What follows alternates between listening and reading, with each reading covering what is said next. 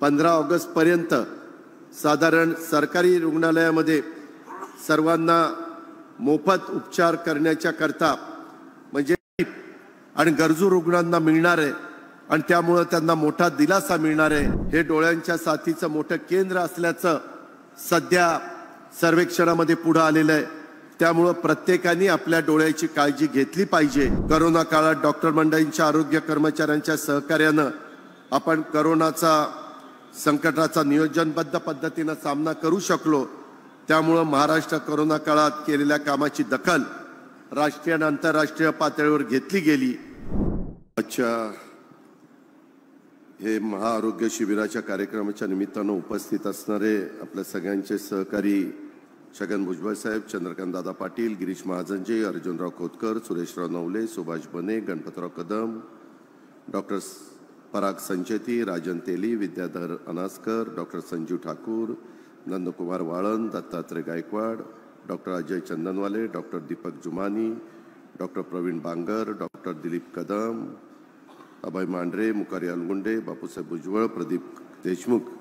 विविध राजकीय पक्षाचे उपस्थित असणारे सर्वच मान्यवर तसंच वैद्यकीय क्षेत्रामध्ये काम करणारे उपस्थित असणारे सर्व नामवंत डॉक्टर्स त्यांना मदत करण्याच्या करता असणारा सगळा स्टाफ नर्सेस असतील पॅरामेडिकल स्टाफ असेल राज्य सरकारचा आरोग्य विभागाचा वैद्यक शिक्षण विभागाचा उपस्थित असणारा सगळा आमचा अधिकारी वर्ग पत्रकार मित्र सर्व इथं आरोग्याच्या निमित्तानं स्वतःची तपासणी करण्याच्या करता आलेले सगळे माझे बांधव आणि ज्यांच्या पुढाकारातनं हा कार्यक्रम इथं होतोय ते आपल्या सगळ्यांचे तरुण सहकारी सनी सनी निमण त्यांची सगळी टीम जमलेल्या बंधू भगिनींनो आणि माझ्या तरुण मित्रांनो.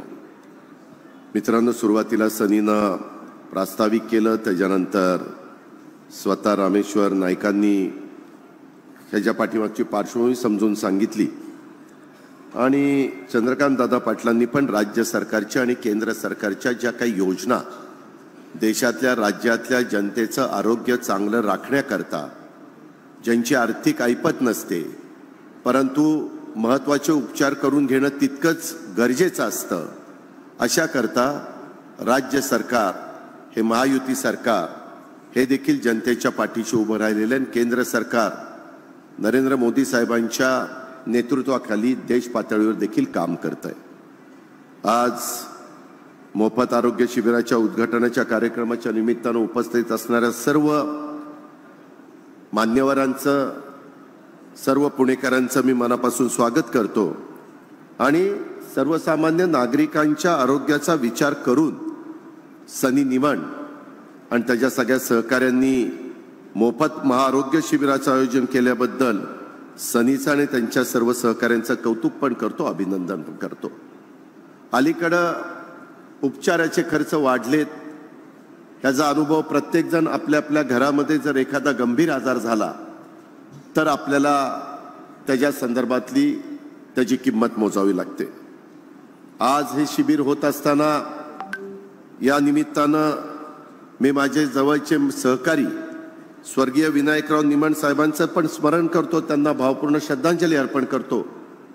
खरं तर त्यांच्या एक दिलदार मित्र एक दिलदार सहकारी सर्वसामान्य जनतेच्या मध्ये शिरून काम करणारा एक सहकारी आज देखील महाराष्ट्रातले आमचे मराठवाडा असेल कोकण असेल इतर भागातले अनेक आजी माजी आमदार इथं उपस्थित आहेत. फार चांगल्या प्रकारचं मैत्री ही विनायक निमणांनी जपलेली होती आणि ती शेवटपर्यंत त्यांनी त्या ठिकाणी टिकवली. इतक्या अचानकपणे ते आपल्यातनं निघून जाते हे आपल्याला कुणाच्या स्वप्नात देखील नव्हतं परंतु काळाच्या नियतीच्या पुढं आपलं कुणाचं काही चालत नाही. आणि त्याच्यातनं आपण विनायक निमणांना गमावून बसलो. परंतु त्यांचा वारसा पुढं नेण्याचं काम सनी चांगल्या प्रकारे करतो. सनीनं मला आल्यावर सांगितलं वैद्यकीय शिक्षण मंत्री पदाची जबाबदारी महिना सव्वा महिन्यापूर्वीपर्यंत आमचे सहकारी गिरीश महाजन साहेबांच्यावर होती. त्यांनी नेहमीच अशा कामामध्ये स्वतःला झोकून दिलेलं होतं. आणि म्हणून त्यांनी अशा प्रकारचं हे महाआरोग्य शिबिर करावं. आणि देवेंद्रजींनी पण त्यांना एक प्रोत्साहन दिलेलं होतं. आणि त्याच्यातनं सनीनं हा पुढाकार घेतला. तो खरोखरीच कौतुकास्पद आहे. आपल्याला सगळ्यांना माहिती आहे की गाडी चालवत असताना हार्ट अटॅक आल्याचं निमित्त झालं आणि आपले सहकारी विनायक निवाणांच्या सारख्या आमच्या मित्राला स्वतःचा जीव गमवावा लागला. त्यांना तातडीने उपचार मिळाले असते तर त्यांचा जीव वाचला असता. आणि त्याच्याकरता आम्ही एकशे आठ नंबर फिरवल्यानंतर तुमच्याकडे ॲम्ब्युलन्स आली पाहिजे. वेगवेगळ्या प्रकारे बाळासाहेबांच्या नावाने आपला दवाखाना ह्याकरता कालच्या पुरवणी मागण्यामध्ये दोनशे दहा कोटी रुपयाची तरतूद आम्ही केली. आणि सात राज्यामध्ये सातशे ठिकाणी हिंदू हृदय सम्राट बाळासाहेब ठाकरे आपला दवाखाना त्या ठिकाणी सुरू केलेला आहे.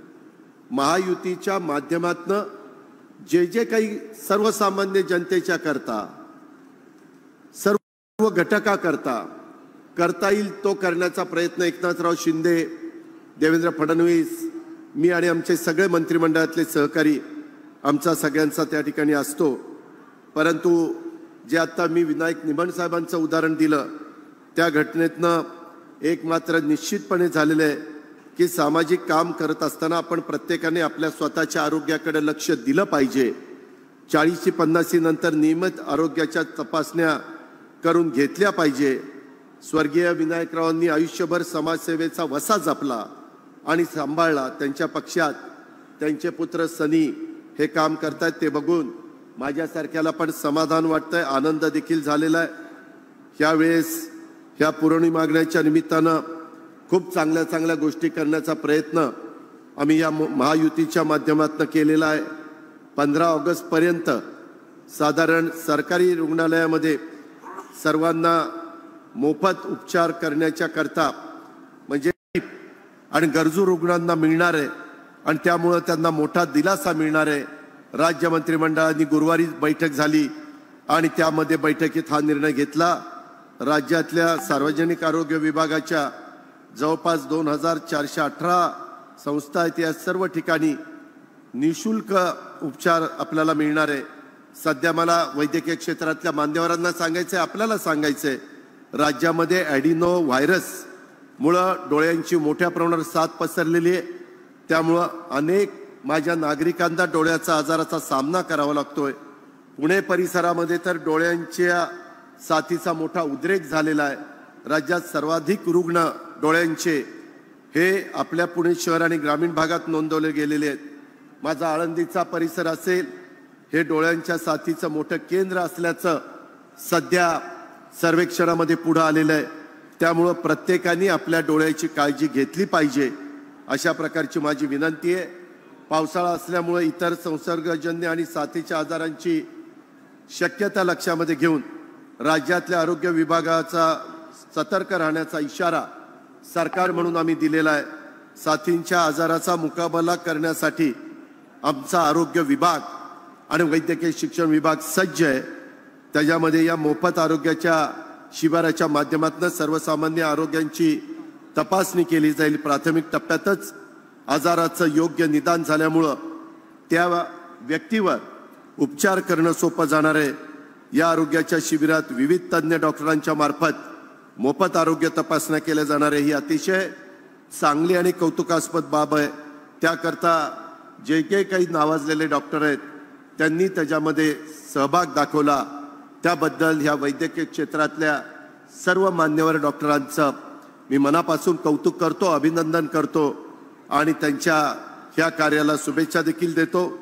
कोणत्याही आजाराचं प्राथमिक टप्प्यात निदान झालं की त्यावर उपचार करणं हे नेहमीच सोपं जातं. तसंच रुग्णांच्या जीवाची जोखीम कमी होते. त्यामुळं प्रत्येकाने वयाच्या चाळीशी पन्नासी नंतर नियमित आवश्यक असणाऱ्या आरोग्य तपासण्या केल्या पाहिजे. रोज व्यायाम केला पाहिजे. व्यसनापासून दूर राहावा दररोज व्यायाम केला पाहिजे मैदानावर खेळलं पाहिजे सकस आहार घेतला पाहिजे तणा ताण तणावमुक्त जीवन जगलं पाहिजे. सिगारेट असेल दारू असेल ड्रग्ज असतील अशा कुठल्याही प्रकारच्या व्यसनापासून आपण सगळ्यांनी दूर राहिलं पाहिजे. मला करोनाचा काळ आठवतोय दोन अडीच वर्षाच्या काळात आपल्याला हॉस्पिटलचं आणि आरोग्य सेवेचं महत्त्व उभ्या जगाला कळलं त्यांची गरज कळली.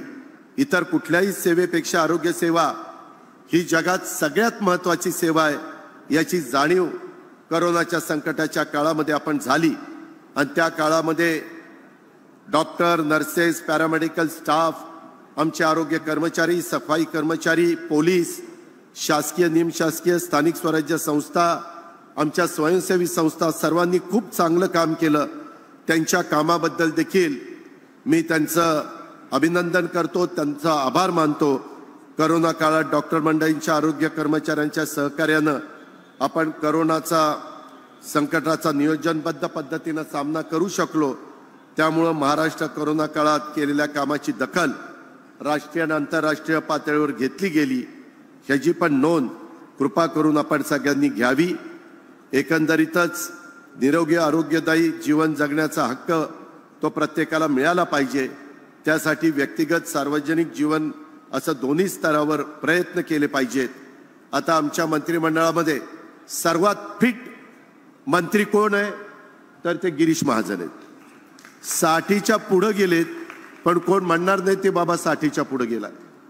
परवा विशाळवाडीला जी घटना घडली मित्रांनो तिथं पहिलं जर पहाटे अडीच वाजता शासनाचा कोण प्रतिनिधी पोचला तर ते गिरीश महाजन पोचलेले होते.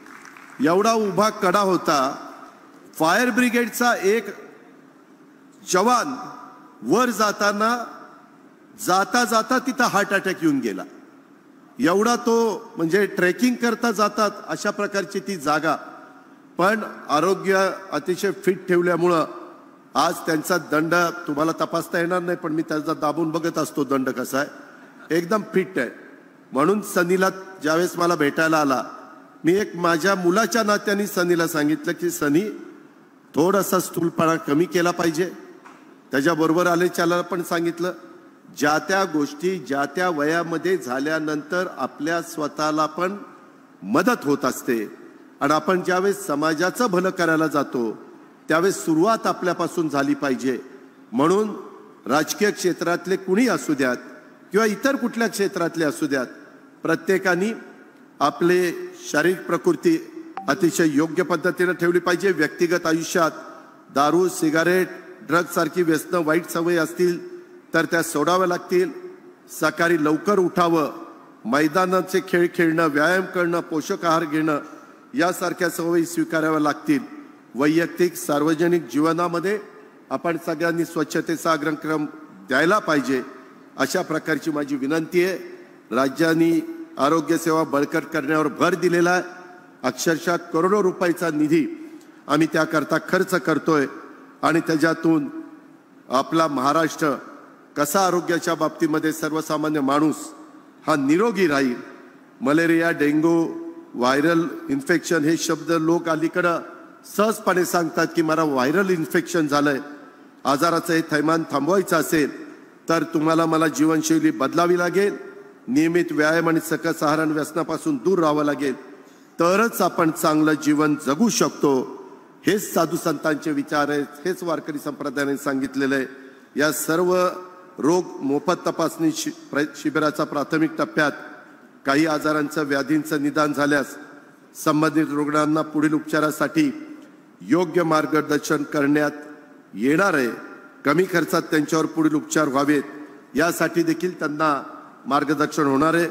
या मोफत आरोग्य शिबिराच्या माध्यमातून आमच्या पुणेकरांना मोफत आरोग्य तपासणीच्या सुविधा उपलब्ध करून दिल्याबद्दल पुन्हा एकदा सनी निमण आणि त्यांच्या सगळ्या टीमचं त्याच्यामध्ये राज्य सरकारची पण भूमिका महत्वाची आहे महाराष्ट्र शासन आणि सोमेश्वर फाउंडेशन या सगळ्यांनी कार्यसम्राट आम माजी आमदार विनायक आबा निमण यांच्या जयंतीच्या निमित्तानं हा सगळा भव्य दिव्य कार्यक्रम होतोय. आणि त्यामुळंच आम्ही ह्या कार्यक्रमाला सगळेजण उपस्थित राहिलो. या मोफत आरोग्य सेवेच्या सर्वांनी लाभ घ्यावा अशा प्रकारचं आव्हान करतो. सनी असंच चांगलं काम करत चल. आणि आमचे स्वर्गीय मित्र विनायक निमणांचा वारसा तू तेवढ्याच तडफेने पुढे नेण्याचा प्रयत्न कर. त्याकरता जिथं कुठं आमचे आशीर्वाद लागतील जिथं कुठं आमचं सहकार्य लागेल आम्ही सगळेजण तुझ्या पाठीशी आहोत हा शब्द देतो आणि या ठिकाणी थांबतो. जय हिंद जय महाराज.